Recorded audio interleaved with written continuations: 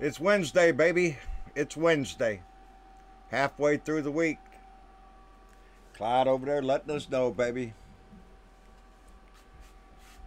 that we've made it halfway through the week.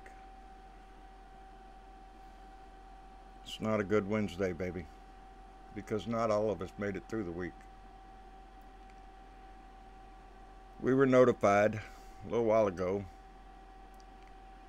by the daughter of Daphne Batty, who is one of our Blue Dot family members, who recently had been hospitalized with COVID 19, that she had passed away. There won't be a rant today, baby. She was just on the show a couple weeks ago, right prior to her going in the hospital. Daphne had been with us a long time. I remember her joking about being embarrassed about the Iowa primaries and how long it took. She's been around for a long time and we're going to miss her. We're going to miss her a lot. I got a call from Bernadette, who was in tears. TW called me. Travis just said there's a group forming on the Discord channel right now. We're going to find out where we can send flowers. The flowers will be sent from her Blue Dot family, which all of you were a member of. This is not the first Blue Dot we've lost. We've lost we've lost too many. Michelle Foster, Dennis Gent, Norman Pincombe, members that were truly involved. I corresponded with, uh, I got letters from.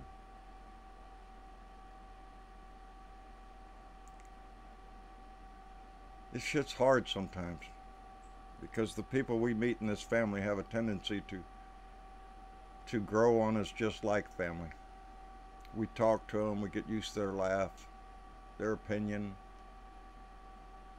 but it was the fellowship of just being together and talking. And we enjoyed her company tremendously. There won't be a rant today outside of the say, in my belief, the man that sits in our house has got Daphne's blood on his hands, in my opinion. While he screwed around for two months, continues to do so right now we desperately need testing to find out where this is. We're in a war, he says, but how do you know where the enemy is if you don't test? While he brags about the testing, we're far behind, baby. Far behind. Our experts, our medical Dr. Fauci, is telling us to reopen would have deadly consequences. And what happens? Fox Spews comes out last night. Are you shitting me? They all attack him the man that has served president after president, all of a sudden we can't trust him because this doofus in our White House would do anything to get reelected. He doesn't care how many people die. He doesn't care who dies. We do. We care and we vote. We're going to miss Daphne tremendously. But we have to remember that she's one of the reasons you stay in the fight. You keep moving the banner forward, baby. We fight for each other.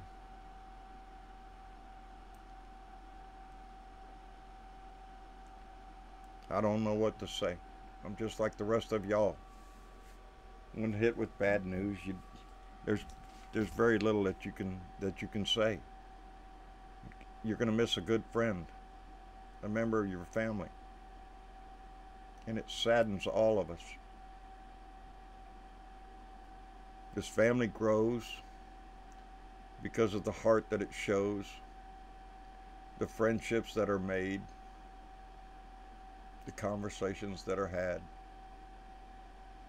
So I encourage you to join this family, to be a part of it to remember why we're all here and that is to remove this dangerous man who has no concern for the citizens of this country or anywhere else. His designs are on money and power, fame.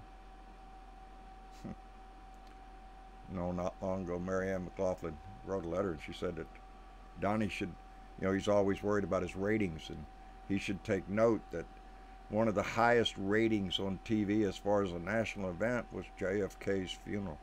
It was on every channel. Hmm. I don't think it would work for him. I wouldn't go. And I wouldn't even turn on the TV. I love this family. I love everybody in this family. The kindness that this family shows to one another is obvious and it warms my heart. I don't know what else to say, baby. My heart is broke and we lost a family member. We'll be live tomorrow night.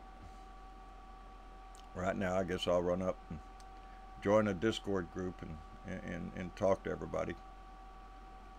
And uh, see if we make proper arrangements for the flowers and and whatnot.